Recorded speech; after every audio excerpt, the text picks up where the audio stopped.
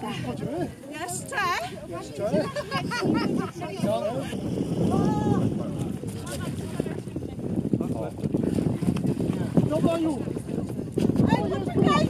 Dzisiaj mieliśmy wydarzenie, które tak naprawdę zainicjowały z, y, nasza młodzież radoszycka. Y, Kilka tygodni temu grupa młodzieży była u mnie z pytaniem odnośnie e, ptaków, które są na naszym zalewie. E, Była obawa, że przez okres zimowy one mogą mieć problemy ze względu na e, zamarzającą wodę, ze względu na to, że nie mają takiej oazy, oazy bezpieczeństwa i w związku z tym wraz z urzędnikami zastanawialiśmy się, jak to poprawić. Stwierdziliśmy, że zrobimy dla nich tak zwane pływające ogrody. Pływające ogrody, szanowni państwo, to e, inicjatywa, która w niektórych miastach już się odbywała.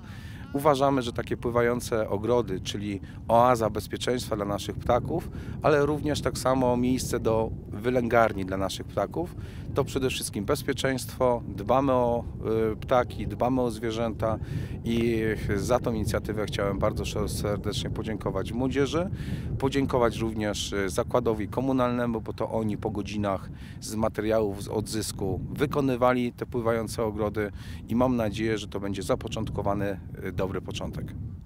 E, Czy tych wysp będzie więcej na Zalewie Radoszyckim? E, Tak, tylko będziemy oczywiście obserwować, jak te wyspy będą wykorzystywane, w jakim zakresie.